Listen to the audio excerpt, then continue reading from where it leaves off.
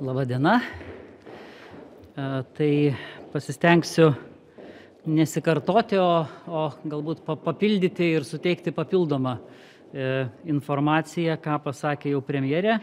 Tai matyt, šiandien iš tikrųjų yra mums labai, labai svarbi diena tuo, kad e, norėjome pasidalyti savo tokiu labiau sistemišku ir nuosekliu matymu su visa visuomenė, kaip kur link galėtume judėti nes tikrai yra geras pasiekimas, nes dar gruodžio viduryje mes turėjome naujų atvejų beveik pusantro tūkstančio šimtui tūkstančių gyventojų. Šiandien, kada pradėjome diskutuoti apie apskritai karantino režimo keitimo kryptis, mes buvome vos tik pasiekę mažesnę ribą nei 500.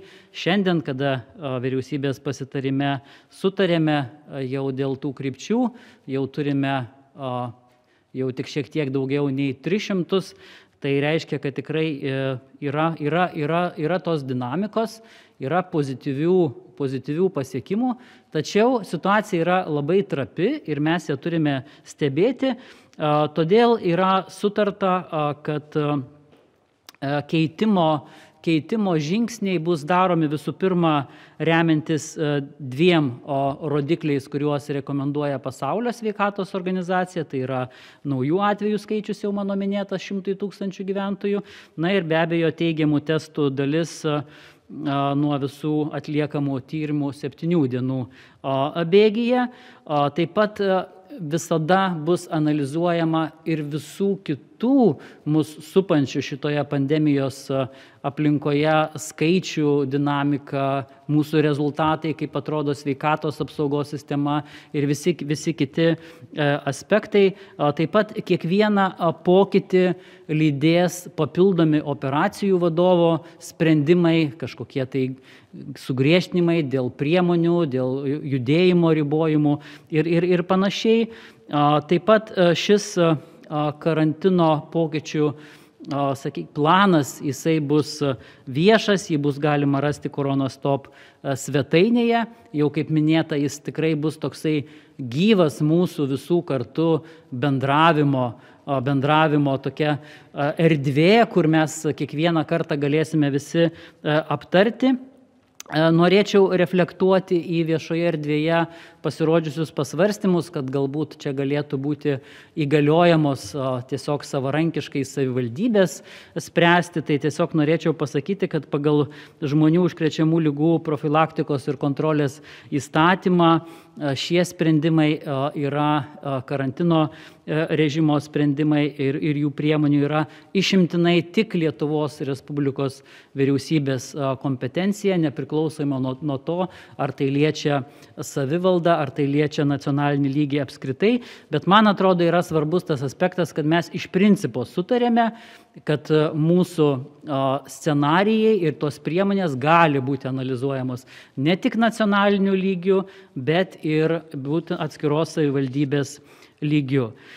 Dėl savanoriško tyrimosi, tai kaip ir minėta, kiekvieną, kiekvieną kažkokį pokytį norime lydėti būtent tomis papildomomis priemonėmis, tai tikrai kviečiame saugoti save ir kitus. Ir dabar kiekvienam, kuris turės galimybę sugrįžti į tą veiklą, e, siūlome tą nemokamą COVID tyrimą ir, ir nuo rytojaus savanoriškam tyrimui galima registruotis dviem būdais. Galima registruotis tiesiog tinklapyje 1808, e, pasirenkant laukelį PGR profilaktinis tyrimas. Arba antras būdas - tiesiog skambinti trumpuoju numeriu 1808. Norime atkreipti dėmesį, kad skambinant trumpuoju numeriu gali susidaryti, susidaryti skambinančiųjų eilė, nes šitie pakeitimai, nepaisant to, kad yra nuomonių, kad galbūt jie yra labai švelnus, labai maži, bet jie paliečia keliolika tūkstančių žmonių, todėl rekomenduojama naudotis elektroninė registracija e, svetainėje. Mes taip pat dar bendrausime dar ir su savivaldybės atstovais, bet jau ir esame su jais kalbėję ir prašėme bendradarbiauti ir organizuoti maksimalius mobiliųjų punktų pajėgumų išnaudojimus, nes kadangi sumažėjo simptominis testavimas, mums kaip tik ir atsivėrė galimybė padidinti profilaktinį testamąsi. Taip kad dar kartą akcentuoju, nes čia yra buvę ir kitose temose, kad tiek skiepai, tiek vakcinos, kokį norime žodį vartokime, ir visi tyrimai yra tik savanoriški, E, ir, bet labai kviečiame saugoti ir save, ir saugoti savo klientus. Tai matyt tiek ir tada mielai atsakyčiau į, į klausimus. Kviečiame užduoti klausimus LRT LT portalas Vaidon. E, Labą dieną, ministrė. E, norėčiau pasitirauti šiek tiek iš kitos ilties. Tai e, praėjusią savaitę buvo atidėtas pilotinės mokyklos Vilniuje, į kurią galėtų pirmiausia grįžti pradinukai kontaktinio darbo startas, tai yra turiuomenį konkrečiai kunigaikščio Gedimino progymnaziją. Tada buvo sakoma, kad reikia tam priimti nutarimų, tai tiesiog norėčiau pasitirauti, ar jie jau yra priimti ir kada ta pilotinė mokykla galėtų startuoti. Mhm. Taip, tai labai žiūrime pozityviai ir, ir, ir, ir, ir, ir tikrai labai buvo puikiai puiki, puiki idėja pilotinio projekto. E, šiuo metu dar vyksta kai kurių techninių aspektų derinimas, nes suprantame, kad vienas dalykas, tai kalbam apie pilotinį projektą, kuris vyks na, su gyvais žmonėmis, su vaikais ir, ir, ir tai, tai užtat yra labai svarbu apgalvoti visas, visas, visas detalės. Taip pat to pilotinio projekto metu bus naudojami ir tam tikri nauji, nauji metodai, dėl kurių dabar mes juos baigiame išnagrinėti, reglamentuoti. Prognozijas blogas dalykas, bet mes tai tikrai norėtumėm, kad jau artimiausiame vyriausybės posėdėje galėtumėm tokį pilotinį projektą užsitvirtinti ir, ir startuoti. LRT Žygintas Abromaitis. Sveiki, ministrė. E, COVID-19 vakcinavimo pasas. Kada toks galėtų atsirasti, ar prie jo yra dirbama, kokia yra pozicija? Žinome, kad kelios Europos šalis jau yra pradėjusios veiksmus, derina informacinės sistemas kokioje situacijoje yra Lietuva ir konkrečiai jūsų kruojama ministerija? Taip, tai Panašu, kad vakcinacijos pasas dar turi labai daug karštų diskusijų, tai yra toks kaip ir tikrai e, naujas, naujas reiškinys mūsų gyvenime, taip kaip ir apskritai šita pandemija ir krizė mums parodė, kad labai tikėtina, kad mes turim reikalų ne su šiaip krize, o su tiesiog nauju gyvenimo būdu e, ateinančiu į mūsų gyvenimą. Tai e, būtent vakcinacijos pasai matyt turi savo ateitį. Šiuo metu visos ES šalis yra delegavusios savo atsakingus žmonės į atitinkamas darbo grupės ir formatus, kurie, kurie nagrinėja šitą klausimą. Vieną, ką šiandien galėčiau pasakyti ir iš to, kiek yra tekę bendrauti su kolegomis ministrais kitose šalise, panašu, kad tas prasmingumas vakcinacijos paso ir atitinkamo jo taisyklių naudojimo matyt turėtų prasme ir būtų efektyvus ir mums visiems naudingas tik tokiu atveju, jeigu dėl jo taisyklių ir naudojimo būtų susitarta visos ES mastu, o ne vien tik tai pritaikant jo tai, kažkokį tai naudojimą nacionalinėme lygmenyje. Tai kol kas būtų tokia pozicija, kad dirbame koordinuotai ir, ir matyt, matytumėm vakcinacijos pasą tokį kaip bendrą visos ES projektą. Delfi, Dainora Karklytė. Sveiki, tikiuosi, kad mane gerai girdite. Norėjau paklausti, jūs siūlote, kviečiate darbuotojus testuotis nemokamai. Gal galite patikslinti, kiek tokių testų yra numatyta ir kiek tai kainuos valstybei? Ir antras klausimas labai toks, na, vertinti viruso plitimą esant mutacijoms pakankamai sunku, tačiau ką kalba jūsų ekspertai, vertindami dar vienos viruso bangos plitimo galimybę?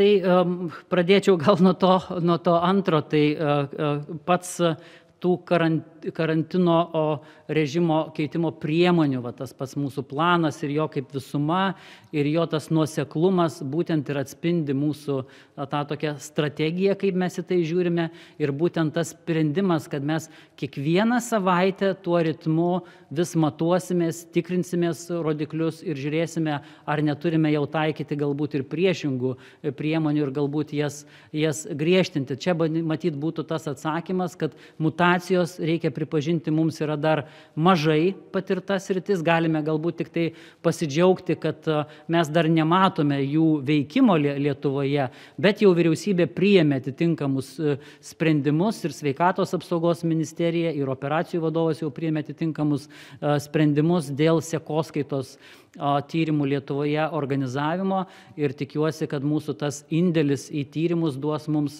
daugiau, daugiau kažkokių atsakymų. Bet bendros tendencijos, ką mes matome visus skaičius ir rodiklius, na, kol kas panašu, kad Lietuvoje mes bent jau šią akimirką tos problemos neturime, užtat norime labai atsargiai žiūrėti į priemonių, priemonių keitimą ir, ir, ir, ir, stebėti.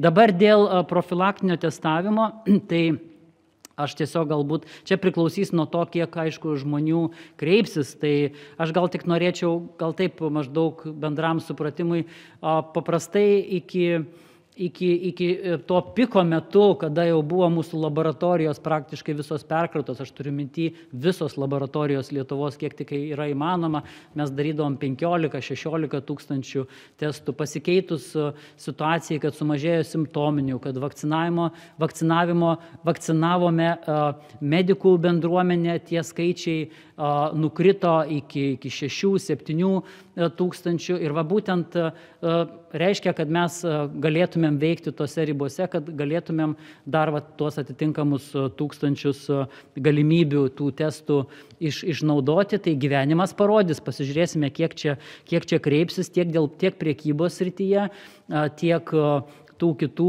paslaugų srityje, na, yra manoma, kad yra po keliolika tūkstančių žmonių, kurie galėtų norėti sugrįžti į savo veiklą, tai tikrai visus juos kviečiame ir toliau ateityje, čia jau mano kolegė ekonomikos ir inovacijų ministrė galės pasakyti, yra numatytos ir papildomo, papildomos testavimo kompensavimo galimybės, kur mes skatinam verslo organizacijas ne tik tuos dabar PGR testus, bet ir greituosius antigeno testus naudoti. Taip, konkrečių sumų dabar negalėčiau įvardinti, mes matyt galėsime tai pasakyti ateityje, bet visas finansavimas kovai su pandemija šitos vyriausybės yra tikrai numatytas ir veikiame to finansavimo ribose. TV3 Karolis Klikna. Sveiki, ministrė, aš dar norėčiau paklausti dėl turgavičių, nes na, tokia da, dviprasmiškai galima skaityti tą nutarimą, nes yra kalbama, kad uh, galima, galima prekyba laukia nuo laikinų renginių, bet to pačiu, kad paviljonuose ir kioskose turgavitėse negalima prekiauti, nes turgavitės dirba ir po stogu, ir laukia. Gal galite paaiškinti, kaip jos veiks ir kodėl buvo įskirta gėlių prekyba, gal galite paaiškinti. Ačiū. Tai taip labai sulyginti kažkokias tai veiklas ir paaiškinti, kodėl gėlės ar, ar slidinėjimas ar, ar kažkokie dalykai yra, la, ne, ne, nėra, yra ir to pačiu ir paprasta ir, ir, ir galbūt atrodytų kažkaip ir, ir keista, bet matyt pagal, pagal mūsų gyvenimo ritmą, pagal tai, kas šiuo metu yra mūsų gyvenime, kažkurios tai veiklos paskatina tą atsiverimą anksčiau ir būtent tos veiklos, kurios yra, yra laukia. Aš manau, kad tų klausimų bus čia dar ir daugiau dėl, dėl šitų ir, ir kioskų, ir parduotuvių, ir paviljonų. Tai kaip ir buvo minėta, yra, yra rengiamas ir bus taip pat išleistas papildomas operacijų vadovo detalesnis išaiškinimas, kurį mes visiems išplatinsime ir manau, kad to aiškumo bus daugiau. Iš kitos pusės tai e, tikrai dar pavasario pandemijos metu daugelis veikiančių asmenų tose srityse turėjo kažkokių panašių